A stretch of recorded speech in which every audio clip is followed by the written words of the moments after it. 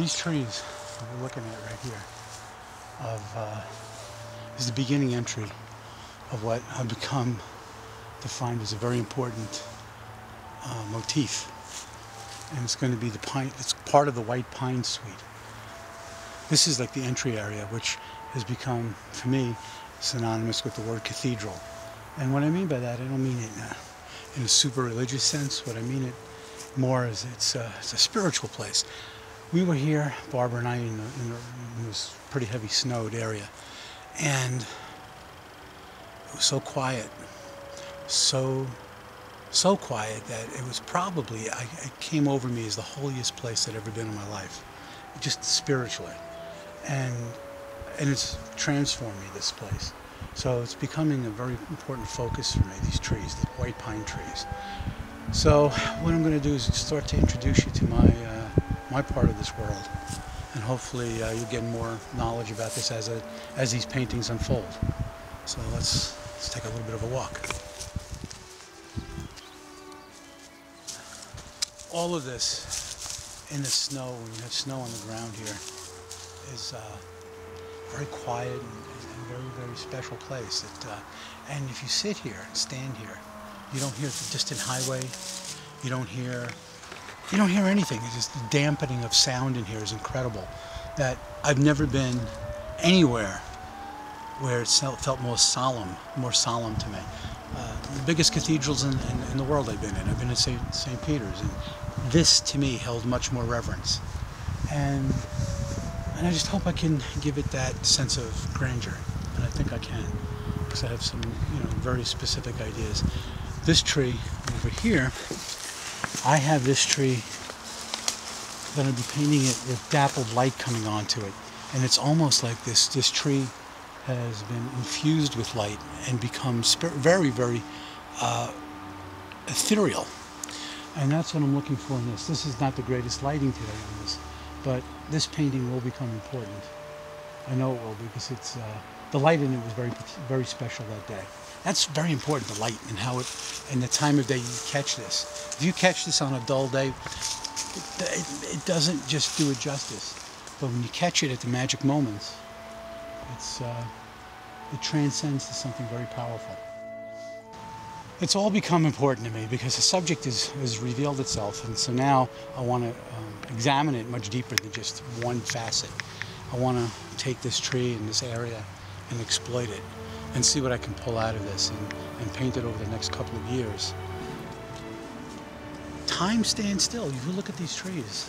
So is this is this is this today? Is this a hundred years ago? Is this a thousand years ago? A pine forest is a pine forest, and it it's timeless. It generates itself, and it's it's a beautiful spot.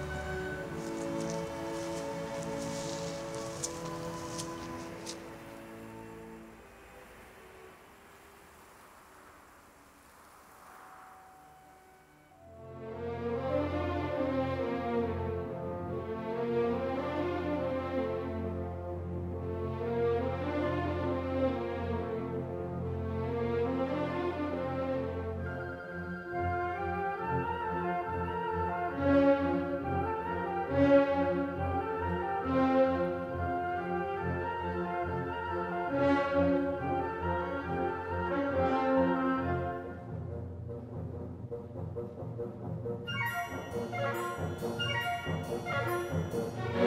you.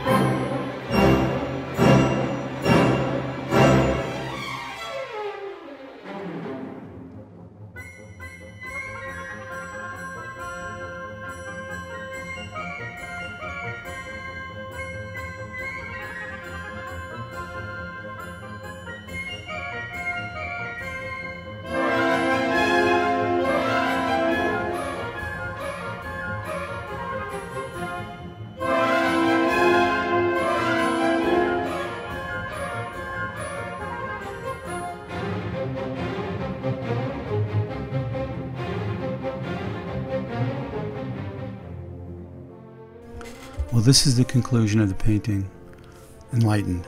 Enlightened is one of 14 paintings that make up the White Pine Suite. I wanted to be able to show you uh, the thinking process of why these paintings were made, how I felt about this place that I painted, and also to bring you into the studio and give you a little view of, of the making of the painting. Hopefully, uh, some of these things that I feel and have said can resonate with you as well. And enjoy. Thank you so much for watching.